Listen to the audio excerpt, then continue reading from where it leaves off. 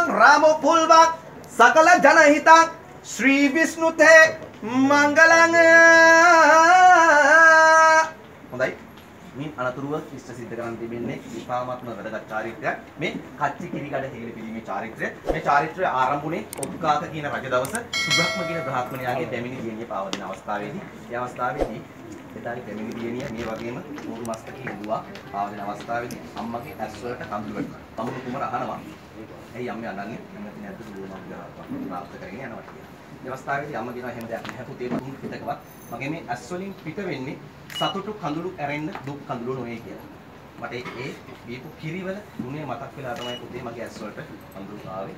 මට මතකයි මගේ කෙල්ල පොඩි කාලේ මගේ දෙතනේ එල්ලි මගේ කිරි බීලා ගැඩුණු හැටි ලොක් මනාල කුමරා ඒ අවස්ථාවේම ආනවා කොච්චර ඔබෙන් කිරි බොන්න නැද්ද කියලා. අම්මා කියනවා පුතේ කච්චියක් රෙදි පෙගෙන තරමට අම්මා කියන්නේ කෙල්ලට කිරි දීලා.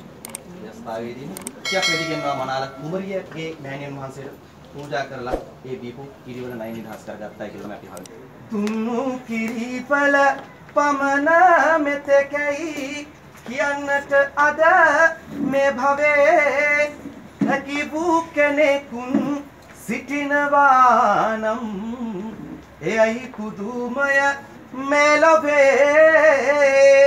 සම කරන්නට නොහැක කහවනු වලට මෞකිරි වල අගේ කච්චියක් රෙදි පොඟවලා තව ඉතිරි වේයයි මට හැගේ